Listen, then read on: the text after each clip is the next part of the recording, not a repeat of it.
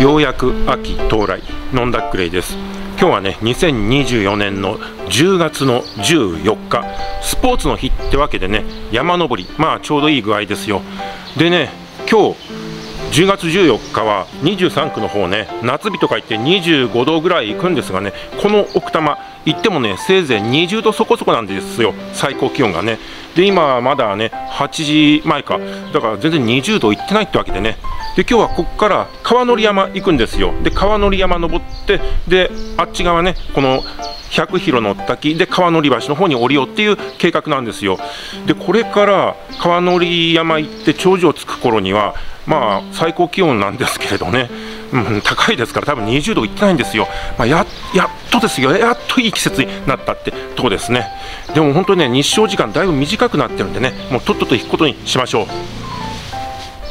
ここの居酒屋さんねやってればね下山してから一杯っていうのも粋なもんですよ。取り立て野菜直売。でもね仮にあったとしてもね荷物になるんで買っていけないですね。で時間はですね8時2分。まあ8時ですね。ではここからねこの鳩の巣から川乗山出発しましょう。ここはそうか。バスはねあるにはあるにしてもこの一段下のね街道まで行かないとバス停ないんで駅前広場は静かですね。そうこっちから行くとねバスの時間関係なしで登れますからね。奥多摩から川乗橋のバス停行こうとしたらねまあえらい並んで混んで下手すりゃ積み残されたりとかありますけどね。こっちはねそんなの関係なく駅からのんびりと歩いていくだけですからね。で今日ねまあもう30分早く来れなくはなかったんですけどね。乗り換えがね早すぎるんですよね、まあ、早いに越したことねえじゃねえかって、ね、乗り換えの乗り継ぎの時間がパッパッパッパって行く方がでもねこの朝はダメなんですよね。この乗り継ぎのね時間が短いとねやっぱ朝ですからね腹に溜まってるもん出す時間が欲しいんですよ、ね、だから乗り換えだとねその便所に行ってる時間がないんでねそれで辛いもんがあるんですよね。なのでねうまくその、ね、この乗り換えの時間でね便所に行ける時間を考えるとまあそういうわけでこういった乗り継ぎのことになるんでだから別のとこから来る方にはねまた乗り継ぎが変わるんでそこは変わってくるんでしょうけどね。春に川乗山登った時はねここですね。ここ。このね道。あれをね向こうから神社の方からこう下ってきてでねここでねこの行ったんですけど、ね、駅の方にね。ちょっとねあっちの神社のあの裏の道荒すぎるんでね。今日はこっちの方奥の方にあるね寺の方から上がりましょう。これはあ左かな。川乗り堀田山方面。そうそうそう。じゃあこっちにだ。なんかここにも標識がありますがね。これは別に関係ねえな。うん。よし。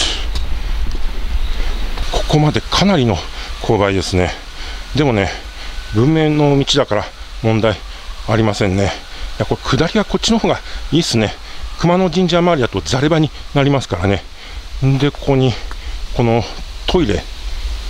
なるほど。地図の通りだな。ちょちょっとどんな具合か。見てみるか。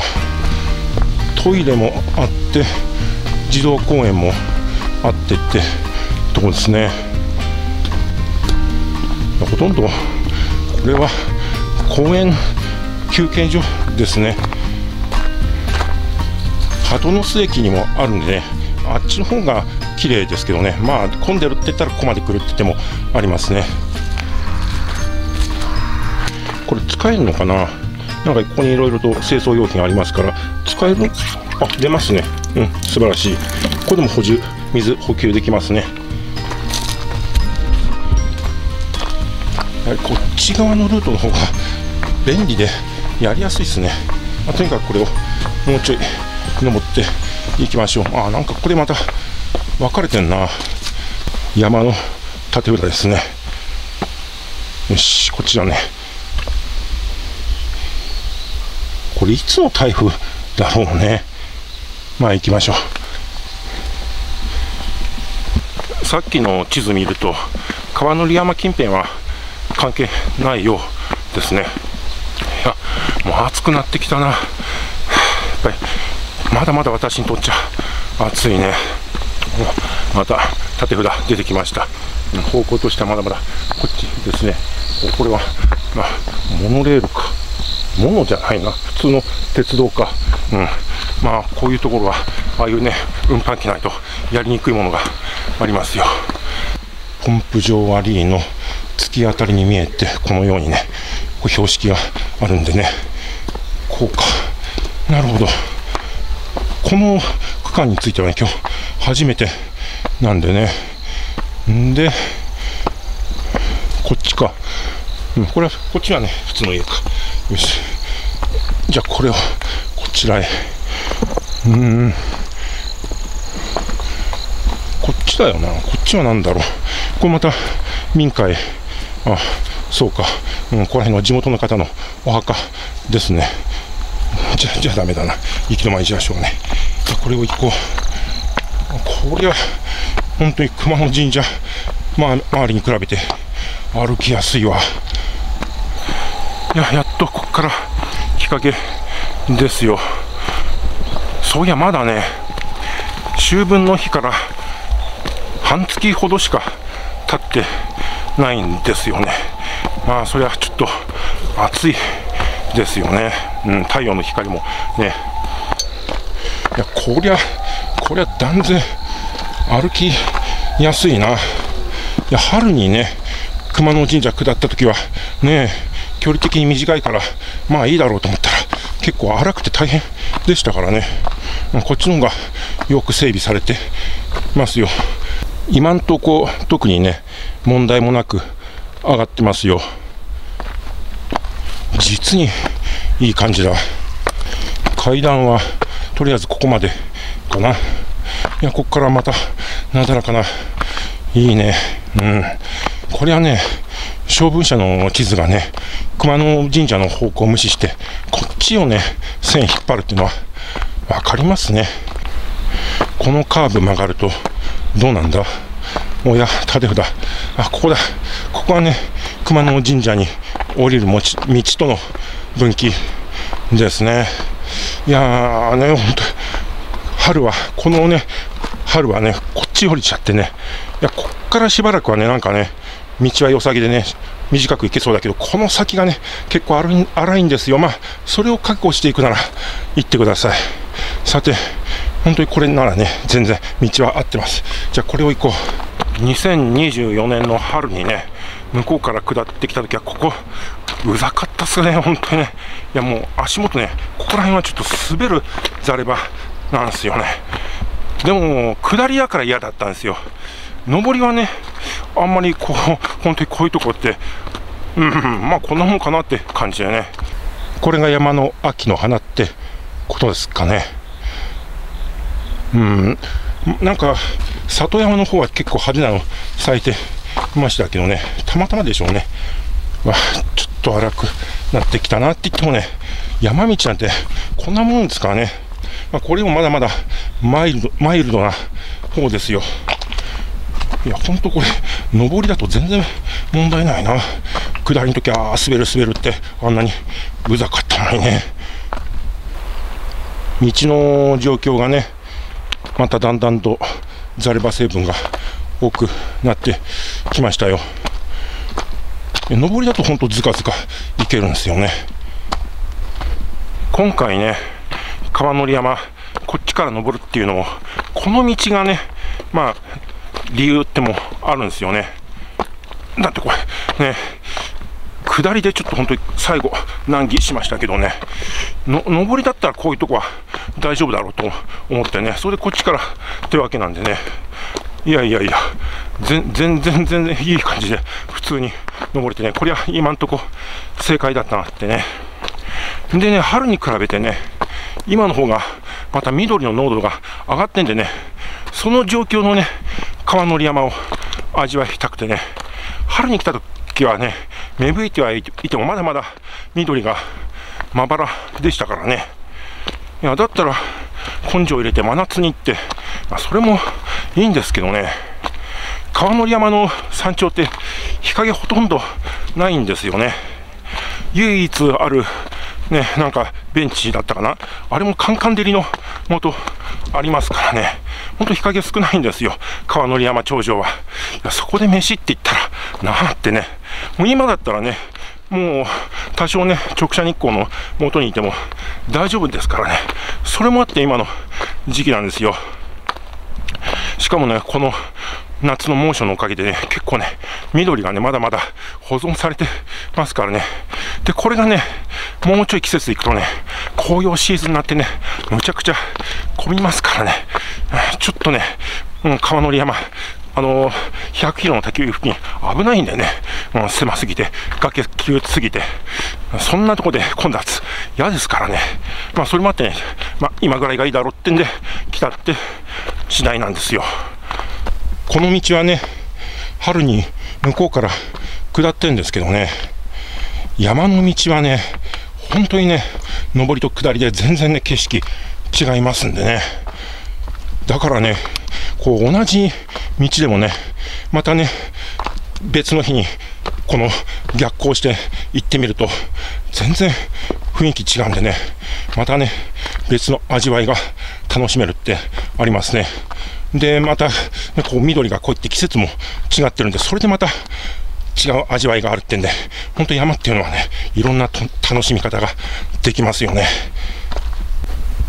こんな立て札あったかな？まあ林業の立て札ですけどね。なんかだいぶなんかね、稜線が見えてきたっていうか、空が透けてきたんでね、これ一回林道に出るんですけどね、そろそろ近いのかな。だいぶね体の方も登山モードになってきましたよ。息がだいぶ楽になってね。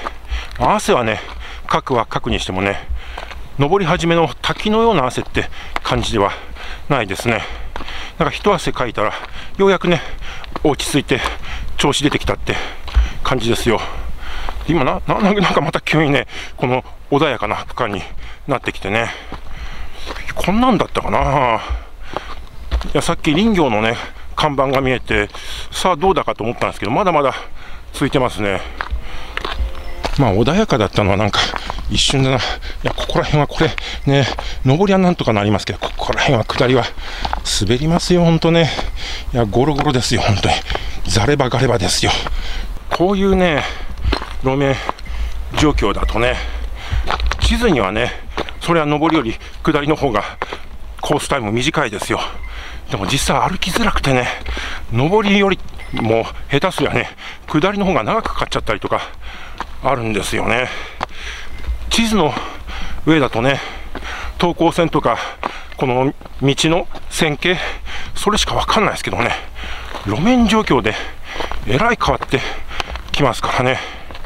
急勾配でも本当にね、うん、地下鉄の階段かみたいな、そんなね、すごい歩きやすいと、ひょいひょいと行けたりするしね、こうね、そんなきつくないとこでも、こうやってね、ひどい、この路面状況だとね、まあ、山道だったらまあ普通っちゃ普通なんですけどね、こうやってね、本当に上りも下りも実際同じだったりとかあるんでね、でも慣れてる人ならね、まあ、ちゃっちゃっちゃっちゃっていけるんで、まあ、その人次第っていうのも大きいですね。